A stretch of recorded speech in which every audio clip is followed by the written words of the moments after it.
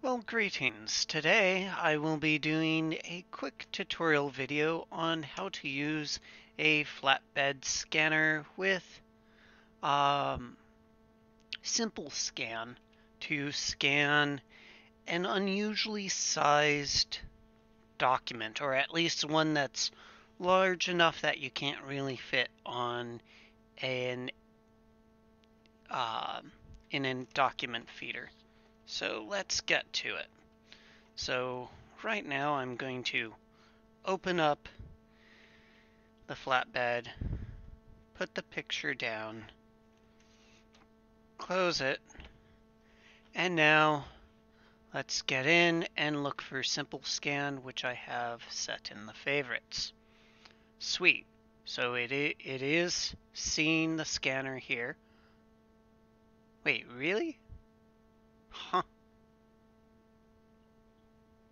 Okay, so this picture I know is black and white. So I'll, I'll leave that all as is.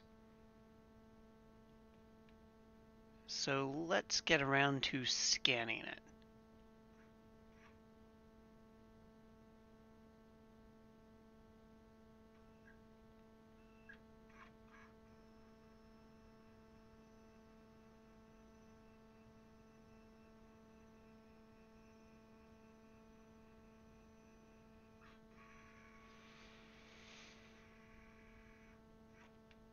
Sweet. So now let's rotate it this way.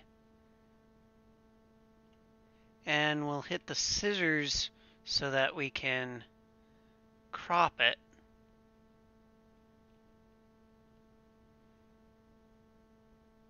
I'm not very precise, plus I'm using a trackball.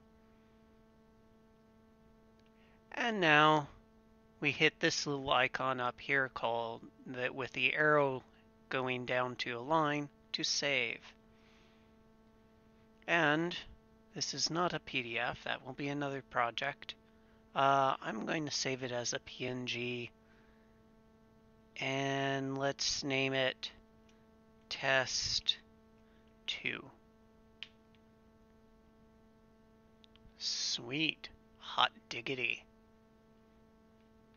So let's get into the file directory and take a look at the scanned photo in GIMP.